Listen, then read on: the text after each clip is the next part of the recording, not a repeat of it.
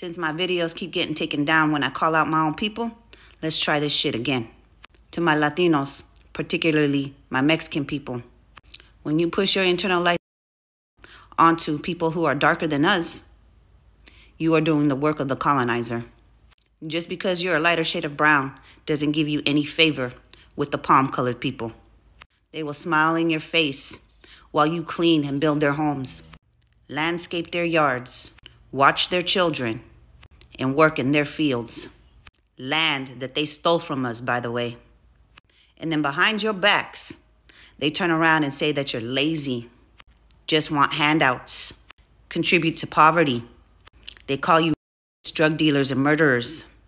They complain that you're stealing their jobs, yet these are the jobs that they don't want to do themselves.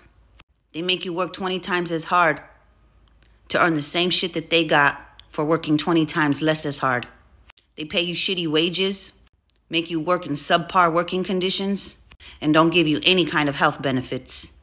If you think you're gaining favor with them by pushing your internalized racism onto our Afro Mexicans, our Afro Indigenous, our Afro Latinos, and our Black Americans, you are sadly mistaken. They don't care about you, and they never will. So stop trying to kiss their asses as if they are. They give you just enough so that way you can destroy your own people while they sit in the corner laughing, knowing that you are doing the hard work for them while they reap all the fucking benefits. And you get very little in return. You are being used and exploited, and they will never see you more than just another brown person. Remember that when you think you're superior to somebody who is darker than you.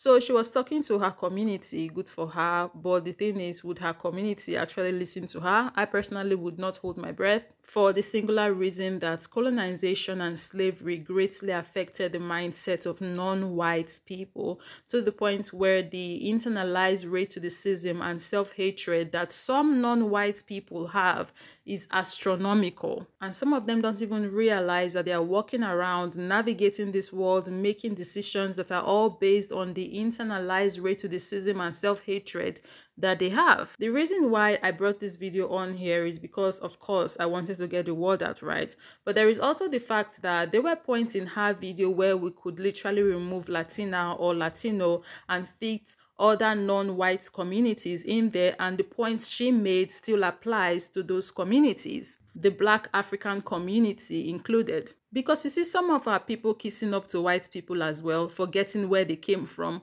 cooning away and tap dancing for their pleasure so they can get crumbs, acting like these people would ever fully pick them or they would ever become white from doing what they are doing. And they too need this kind of reminder. I personally do not believe in POC solidarity because there is no POC solidarity. We don't see non-black POCs solidifying with black people. Like it's literally us against the world. But it's very unfortunate when you think about it on a deeper level because what exactly are POCs and black people dragging with each other? like we are literally not our enemies. We could change the world if we choose to come together and work together. But because non-black POCs have this thing called proximity to whiteness, they decide to go to the white side. But anyways, if that's how they want to go and roll, I wish them all the best in their endeavors. Me as I day here, so I really do not have the time to care about who wants to or doesn't want to solidify with us.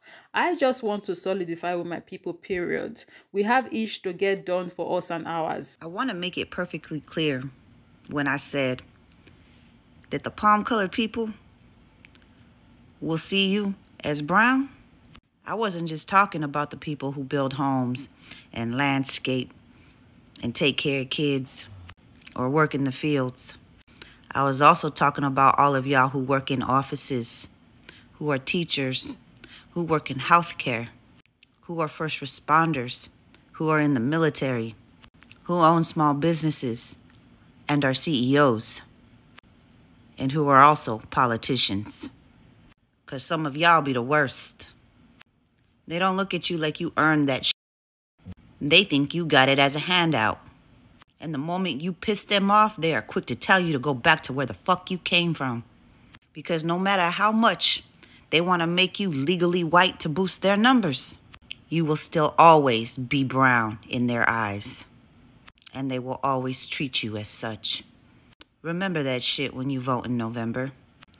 and you think about voting for that red party because all you're going to do is vote against your own interests and the interests of your own people. You will never be white, no matter how hard you try. They won't allow it. They will continue to use you and exploit you again, everything she's saying right now applies even to our own community. And this is why I really want to share this video. I just wish the cones out there would actually listen. Because these folks are only using you. They don't care about you the way they would discard of you after they are done with you. hey! They would use you to destroy your own people. In front of you, they'll be cheering you on and clapping for you. But behind closed doors, they are laughing at you. And after they are done exploiting you, just like trash, they put you in the bin. When did I find out that I really wasn't considered to be white? Story time. For those of you who do not know me, I was born and raised in the island of Puerto Rico. The reason I have an accent is because English is my second language. In Puerto Rico, we learned some English in school, but not enough to be conversational. So it was under that context back in 1989 that I decided then to join the United States Army when I was only 18 years old. Given then my lack of skills in the English language, the Army sent me to a nine weeks English school before I could start basic training. Although those nine weeks helped me with the basics of the English language, they really weren't enough to keep me from sometimes struggling during my training. Thankfully, I had a Puerto Rican friend who was from New York and bilingual and could help me to survive it. After graduating from basic training and advanced individual training, I also attended airborne school where I basically learned how to safely jump out of airplanes. After that, I ended up landing in my first duty station, which was the 82nd Airborne Division at Fort Bragg, North Carolina. During my first year there, as I was still learning and struggling with the English language, some of my fellow paratroopers sometimes will treat me like I was some kind of idiot who didn't know what was going on. Deep inside, that shit used to piss me off. Most of these fellow paratroopers happened then to share my same skin color, which was then that I began to learn about some of the realities about this country that I wasn't yet fully aware of. So after being in my unit for almost a year, we all then got called to go to the Persian Gulf to be part of the Gulf War in 1990-91. Since we were the 82nd Airborne Division, we were literally the very first one who arrived to Saudi Arabia to get ready to potentially fight the Iraqis. They put us then in the middle of the desert and had to build our own mini tent city. Well, the leadership at the time didn't take charge of our living arrangements and basically allowed everyone to pick their own tents. Interesting enough, we all ended up divided by race groups, the white tents and then the everyone else's tents. Guess which tent I ended up in? You guessed it right. Even if I wanted to be in the white tent, I knew then that I wouldn't be welcome. Anyhow, with such segregation, it wasn't long before we all ended up fighting one another. That's when the leadership realized they fucked up and only then ended up rearranging our living spaces. Ever since then, I understood which tent I belonged to. For years, I tried to get in their tent until I realized that I could build my own and be much better than theirs. In fact, that experience helped me to become the leader that I ended up becoming later on in the future. Stay woke, people. Dale. It is sad that he had to experience that, go through that experience to find out who he was and who he wasn't. But after coming to that realization, he then saw the world for what the world is. So moving forward, he acts and moves accordingly. And this is the realization we need the coons to come to. They would never pick you. Hoy en día tenemos aquí en los Estados Unidos a tres diferentes clases de hispanos trompeteros.